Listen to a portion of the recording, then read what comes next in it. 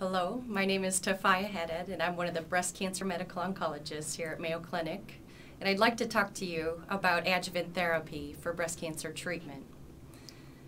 Adjuvant therapy is a word used to describe medicinal treatments that we give to women, sometimes before and sometimes after their definitive breast surgery for early stage breast cancer. And that would be stage one, two, or three breast cancer, and it also includes inflammatory breast cancer. So, adjuvant therapy can also be referred to as systemic therapy, and we call it that because it's treatment that gets into the bloodstream and circulates throughout the body. Adjuvant therapy may be given as a medication through an IV, sometimes by injection, and sometimes by pill. Again, the goal is to get treatment that gets into the bloodstream and potentially kills any breast cancer cells that may have gotten away before the breast surgery. So, to understand how adjuvant therapy works, we must first understand why we think breast cancer recurrences happen.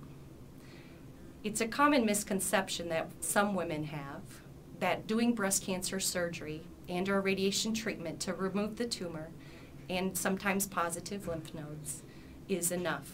But unfortunately, we've learned through experience that it's not enough for all women. And some women do go on to endure a relapse of their breast cancer. And sometimes that relapse may be incurable. And that is why some women do ultimately lose their lives to breast cancer. And we believe that the reason breast cancer recurrences happen is that prior to the breast surgery, that some breast cancer cells break off from the main tumor, get into the lymph and or blood vessels, and spread to other more distant lymph nodes or other organs. Sometimes it's just a handful of cells that get away. And yet these small cells, sometimes microscopic, have the capacity to be turned on again and grow and cause the breast cancer to come back. Sometimes that happens months or years, sometimes even decades after the original breast surgery.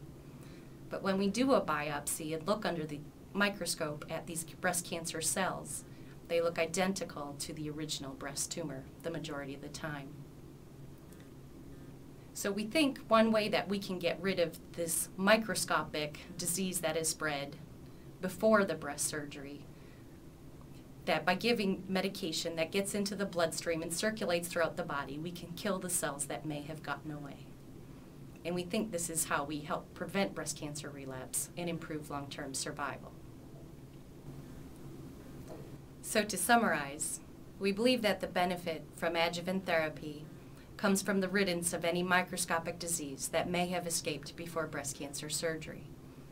We again believe this is why we help prevent recurrences and improve long term survival from breast cancer. The absolute magnitude of that benefit is something you can talk with your provider about, as it may vary from one woman to the next. The formulation of your adjuvant care plan will be a decision amongst you, your breast cancer oncologist, and your family and we encourage you to talk with your providers about the adjuvant care plan that is right for you.